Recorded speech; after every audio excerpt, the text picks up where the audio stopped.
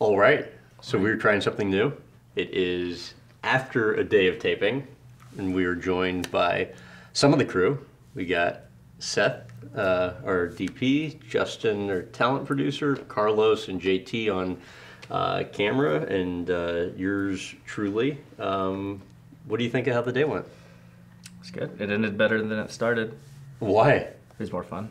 Oh, okay. That is true. I mean, we certainly asked a lot of them, and they pretty much delivered everything that we could have asked for, especially time. That's that was the biggest. Yeah, his team was a Yeah. dream to work with. yeah. Yeah. I mean, the fact that we got to use that setup for the interview and they didn't charge us anything. Each one of those lights in the background is 400 a day, Oh, yeah. and they gave it to us for free. There you go. Yeah.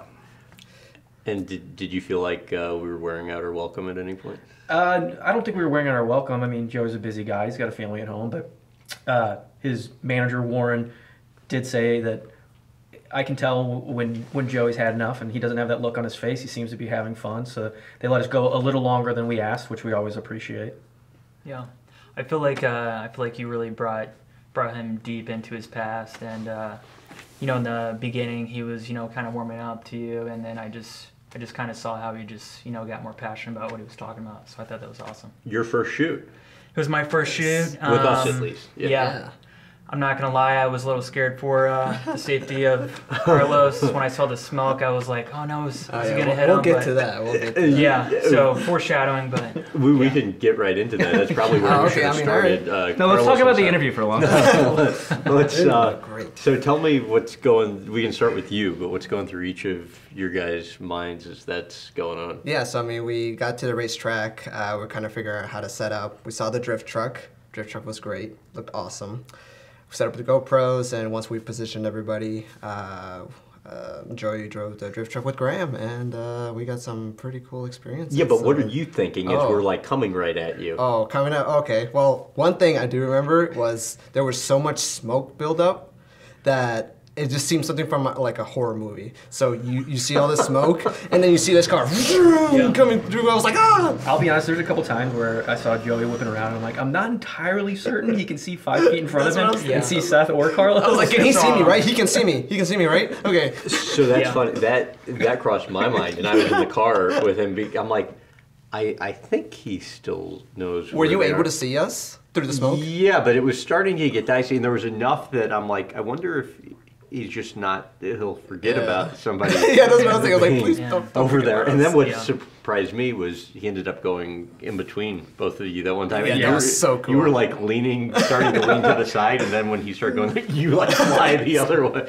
Yeah. Uh, and you? I'm realizing now I should have been more nervous than I was. I didn't know that I didn't realize that he went between us, and I assumed you guys could see us the whole time. yeah. I Wait, you didn't realize he went between? crazy. I thought he, I know he was going around Carlos and I. And then Yeah. the, the, the, this is the it was first so time smoky, before, I literally I couldn't. Right, yeah. we before we see. changed the tires. It was the first time that it zipped right. He went right through us. Yeah. He's- I mean, you know, when you're dealing with a pro, just let them do their thing, I guess. I'm more concerned that JT and Carlos are everything up. really? Yeah. Oh. No, I, I But stuff like that is that eye is view, tough.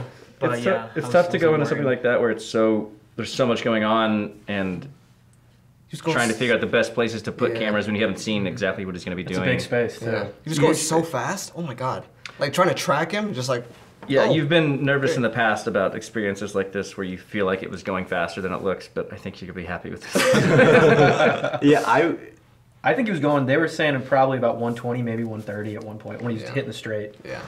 He's, and I think he, I thought he said 150. Joey did, but maybe, really? maybe He Yeah. did. Joey Um, did say one Uh, thirty.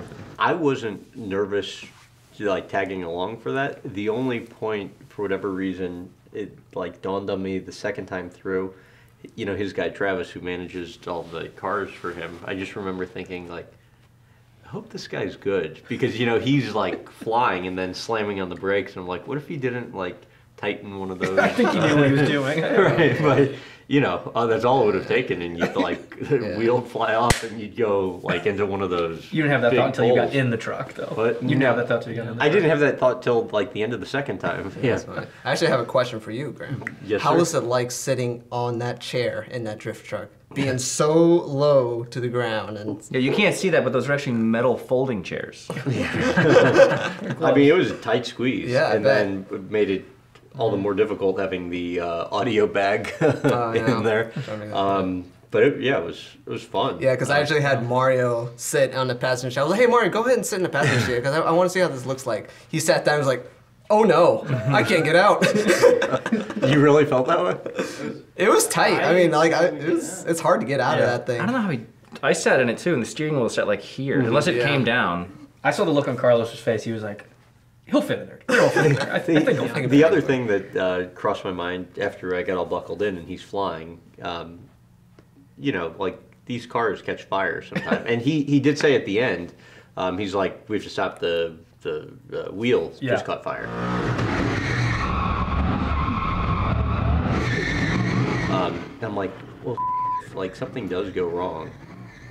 I don't even know how I would get myself out of here. Like I, I didn't know how to like That's a good- unbuckle the stuff or a- any of that. But And I was up there thinking, this is my first shoot. Yeah, you got it kind of thrown in the fire, Got huh? the bird's eye view, and uh, yeah, I was just like, wait, wait, is Carlos still there? Is, is he still there? How do you think you did?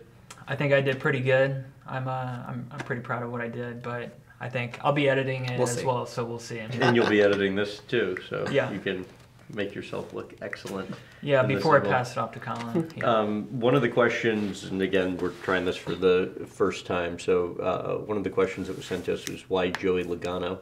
Um, on my end, um, first, like, kind of a no-brainer. I mean, it's going into NASCAR season. It's the guy that won the championship, uh, won two of them, um, and has really cool story. I mean, this is, you know, he was given a bit of a hard time kind of early on in his career because people thought, okay, here's this, you know, rich kid who hasn't earned his spot. When, um, in reality, I think one of the things that was really cool about talking to him is first he owns his circumstances. He grew up well off, and he made the most of his opportunity. And the same can't be said for a, a lot of people. And you don't become a two-time champion because you have money. You become a two-time champion um, because you make the most of you know the circumstances in which you've been born and worked your ass off. I think one of the coolest things about him is, is he signed a pro contract when he was 15. Guy couldn't even drive a car, but he signed a professional racing contract. Yeah. And in the interview, he actually said, "My sister used to drop me off at Joe Gibbs Racing when I was a kid or a teen." But I mean, and then he gets into the pro circuit at 18 and doesn't have the success I think that he thought he was even going to have. He said as much, hmm. and I mean, had to deal with that's. I mean, you talk about some intense like expectations at the age of 18, 19 years old. I mean, I think about myself at 18 or 19, I certainly couldn't have lived up to that. So, I mean, he dealt with a lot of adversity at a young, young age and And- is and- better for it. And and he, I think that was one of the cool things to talk to him about. It's like having gone through that and struggled so much during that period that he credits with what has allowed him to have all Where the he is right su- now. success now. So, Yeah. um, okay, so coming into a, a shoot like today, we've obviously done a number of them together. Um, like, what stresses you out? Because I know it's like you tend to like the lead up to a, a shoot is kind of when you're most on edge, right? It t- depending on the shoot. Shoots like this, honestly, I don't get nervous for anymore. Um, I've just done it so much, and it's today. I mean, is a fairly easy day for us compared to what we've done in the past, and we got to sleep last night and stuff like that. But I Which mean, is amazing Dickens. Like this, yeah, it- honestly, it- the the situations like this, when we found out yesterday we were going to be shooting in their big studio, what makes me nervous is okay, I have the access to make this look incredible. I I just hope I don't fuck it up. Um, but as soon as I start seeing cameras and all that stuff, I it all it all washes away. and what about you guys? What? yeah, I uh, mean, I mean the last part that you said, I hope I don't f- it up. That's kind of that's kind of where I was at the entire day. But yeah, I feel like uh, these these guys really helped guide me. I was like, hey Carlos, you know, I'm just I don't want to ask. Yeah, I mean, I wouldn't say I'm like I'm a natural, but I mean, I feel very comfortable with working with this crew, knowing them, and being able to set up things and that I'm familiar with. So, yeah, We were tweaking lights to the last minute on this one. At least I was. it seemed that way. yeah. It's just it's a huge space, and you need really powerful lights to, to fill it out, and we don't travel with really really powerful lights. And, and then you and then you stressed me out at the start of the shoot, saying I was all uh, shiny. You were shiny. Cut to Graham's Yeah. shiny ass forehead. We almost got you some makeup at the last minute, but I'm kind of glad we laid off of it. Would you rather me not say something? No, I'm. 'Cause, I mean, what if it didn't And- match and your Actually, face? I might have had makeup in my car. that I Oh, didn't. Same thing. come on. Same thing. Well, because that, I would have had to get up, unlock the car. No, no, I know why. It's because you asked Joey, "Have you ever used makeup?" And he said Wait, no. Wait, I thought that was after that. I, I made a conscious decision this morning not to put any makeup on because I'm like, it just. I think You know, I think I- felt a little intimidated by the two-time uh, I, Cup I- Series champ. I think we taped, you know, an episode recently where we had somebody put makeup on us, and I just there was so much caked on me that it like Yeah. starts to make you look older. um, and so, yeah, I don't know. That was my You're not hesitation. young, Graham. I, I, and that's my thing. I'm not young anymore. Um, all right, before we go, um, highlight for each of you guys uh, uh, from the day. Oh, pretty obvious, right? Yeah, definitely him That'd moving be good. donuts around us, and yeah, seeing and especially knowing I was shooting in slow mo and seeing a that truck coming at me sideways through smoke. Yeah, Got some cool footage for sure.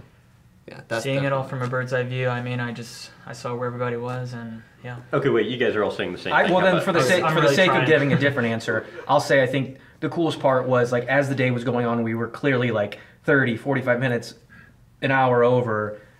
Joey still seemed to be having a good time, Yeah. and at at the end of the day, that's what these tapings are about, you know. And All right, then one- one more too. Um, something you guys heard him say in the interview um, that you thought was interesting, since we haven't touched on that at all.